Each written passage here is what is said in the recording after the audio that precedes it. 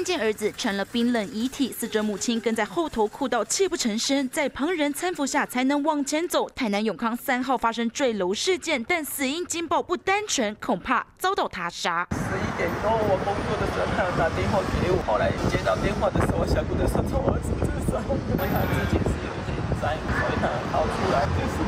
时隔一年没见，早上才跟儿子通话，想不到竟成了最后对话。但警方发现，平常是超商店员的三十岁丁姓男子，生前曾和另一名男子一起进去大楼，二十分钟后就发生意外。原本以为是轻生，但惊讶发现坠楼当下，陪同的男子同时冲出大楼，搭乘朋友的机车离开，疑点重重。七十几万，他跟他跑三百万，利息一直加一直加呢。我昨天还跟他讲，钱债赚就人没有，什么都没有，